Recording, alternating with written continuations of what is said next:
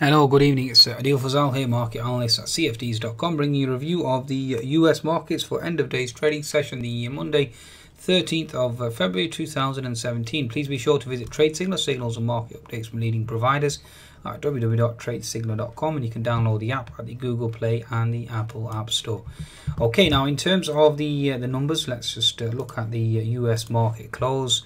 Uh, pretty um, impressive. continues the well the rally certainly continues unabated. Okay, very, very impressive. In terms of the US uh, closing number, the Dow up 142 points at 2400, up 0.7%. S&P closes at 2328, up 12 handles. The Nasdaq up 30 handles at uh, 5763. Well, according to the Nasdaq 100, the cash market is slightly different.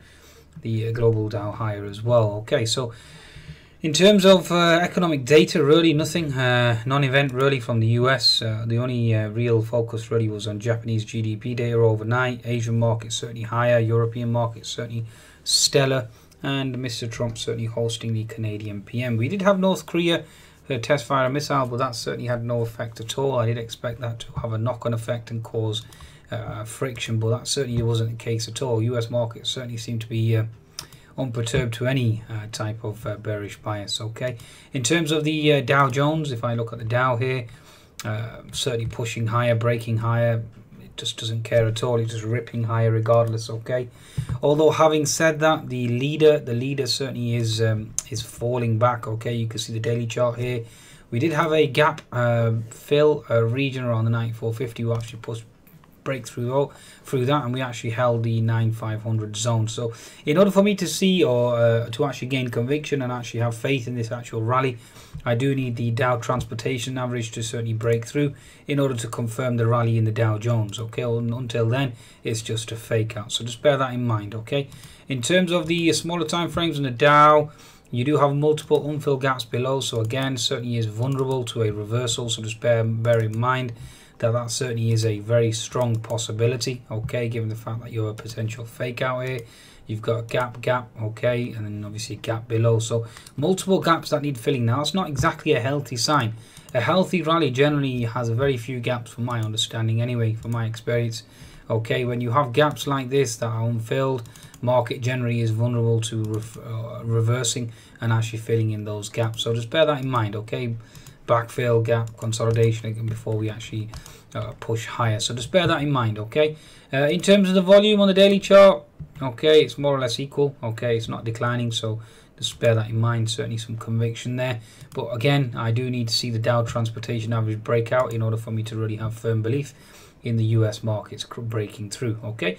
Let's move on to the S&P 500 now S&P 500 on the daily chart certainly pushing higher again but um, again vulnerable to leaving gaps. One two three four four gaps left behind okay? So certainly vulnerable to a pullback at any time so just bear that in mind okay? 60 minute chart you have this uh, rising uh, uh, channel okay? Uh, again multiple gaps below uh, vulnerable to the markets closing at any time the pivot R3 certainly was taken out today the RSI stochastic certainly extremely extremely uh, into the overbought territory. You have one fill gap below that 23.16. We certainly uh, hit a pivot high of 23. Uh, 31 point well 2332 so again very very impressive okay very very impressive on the S&P 500 on this move now again the S&P 500 move is not being confirmed by the Russell 2000 as always you want the uh, small cap certainly to uh, confirm the move and that isn't the case folks okay you can see here clearly uh, Monday today, the market still failed to penetrate and break through.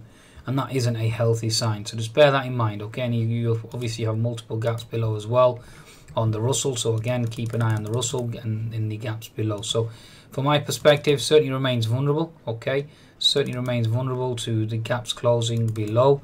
Okay, so all eyes on those gaps below from my understanding and my interpretation, okay? In terms of the uh, S&P, uh, certainly an insight there. Okay, now let's move on to the Nasdaq. The Nasdaq itself, uh, the daily chart first and foremost, certainly breaking higher, but again leaving vulnerable by leaving gaps below. Okay, 60 minute chart again, you hit that pivot R3 resistance, certainly looking for a reversal uh, towards a close, and you are looking for gap fill at 52.28. Okay, so watch out for gap fill below. That's my potential target. Now, the Nasdaq usually is confirmed by the biotechs and the semiconductors. Now, the biotechs you can see here certainly into resistance, thereby indicating a reversal, and the semiconductors as well. If I bring up the semicons, just bear with me. Look at the emerging market index as well. Emerging market index certainly into resistance as well, thereby indicating risk aversion. So just bear that in mind. Okay, let's go to the. Um, here we go, semiconductors. Okay, so semiconductors certainly weak today. Daily chart, as you can see here, uh, certainly in that bullish channel, but it's an inside bar. So you've had three or four days of consecutive weakness in the semiconductor. So, so no real, uh, um, basically lead higher on the semicons or the biotech. So again, bear that in mind certainly indicating exhaustion on the Nasdaq itself. Okay, so certainly looking for weakness on the Nasdaq. Also, let's look at the leaders. Uh, let's look at the app chart of Apple first of all. Okay, so Apple certainly in the daily chart putting in a doji. You have an unfilled gap left behind. So again, certainly vulnerable to that gap certainly being closed. Okay, uh, and certainly the uh, the move itself, certainly from my perspective, and it's been quite a stellar move on the chart of uh, Apple. I mean, you've hit a high 134 from 121 you certainly don't want to be adding up here. That's all I can say. Okay, certainly looking for a pullback. Okay, and certainly would not like to be adding up here at all. Again, looking at Facebook as well, the daily chart of Facebook. certainly looking very top heavy to me as well. Ever since that uh, uh, potential uh, topping tail, you certainly had consolidation and no real conviction on the uh, on the upside. Certainly a, a bearish day and a bearish close today. Looking at the 60 minute chart, again, you're certainly holding that potential double top scenario. No real breakout. You have one fill gap below. Okay, you have uh, key zone uh, below in terms of support. Okay, so certainly looking to move lower on Facebook. Okay, so these are the key stocks, the FANG stocks. Okay, in terms of uh, next potential move. Also look at our Alphabet. Okay, looking at a potential HNS top, uh, looking at gap fill resistance, and therefore looking for a move lower. So again, these stocks are all setting up for a potential break lower. So I certainly wouldn't like to be adding up here. Okay, that's my interpretation anyway. Okay. Looking at the SPDR for technology, the uh, the volume certainly has been declining on the upside as the equity markets move higher, and that certainly isn't a good sign. Certainly isn't a healthy sign. Okay, looking at the um, diagonal trend lines here, just trying to draw them in for you okay so again you have this rising contacting or contracting wedge type pattern okay let's just keep an eye on that in terms of the next potential move whether or not we can break it on the downside okay so again my my understanding is certainly tech sector certainly seems to be overbought and certainly looking for a potential pullback. Also the Nikkei, you can see Nikkei into gap fill resistance, certainly looking for weakness on the Nikkei and looking for uh, risk aversion. That's my understanding in terms of the Nikkei. Also the uh, Shanghai as well. So very surprised with today's move in the European equities. Very, very surprised. I mean, that's something that I certainly expected. Okay, whether or not I was early in terms of my analysis, etc., etc certainly didn't expect that thrust higher. Okay, let's just look at the actual uh, sector by sector in terms of financials. Financials and daily charts certainly being helped by Mr. Trump's deregulation. Energy sector and the daily chart still we had a thrust higher, but still weak. Okay, you, especially with oil prices finishing weaker as well. So bear that in mind. Uh, let's look at consumer staples daily into resistance. Consumer staples certainly weaker and looking for risk aversion given the fact that uh, consumer staples do make up quite a significant portion of the uh, S&P 500 to bear that in mind. You have healthcare making 15% financial 16% IT 21% consumer discretionary and consumer staples both 22% so you can see that they're quite heavily weighted towards the uh, consumer staples. So keep an eye on that in terms of the next potential move. Consumer staples here industrial as well. S&P 500 industrials is almost 10% uh, daily chart certainly has broken higher, so you have to respect that to a large extent.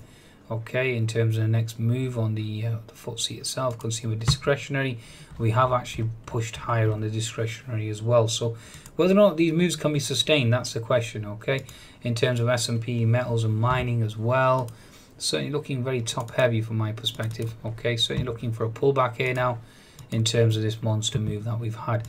It's again keep an eye on the S&P 500, see if it can continue its move higher uh, in terms of the next market move. Uh, the uh, the actual US uh, 10 year as well, certainly looking to move higher.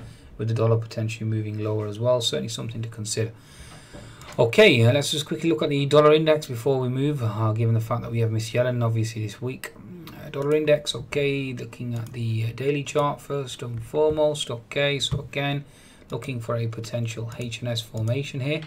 Uh, daily chart certainly is into resistance, so just bear that in mind in terms of the uh, the US dollar. Certainly helped by Mr. Trump's comments and uh, Mr. Abe's connection today. It'll be interesting to see what happens next on the dollar, given the fact that we have Miss Yellen uh, on um, on tap this week.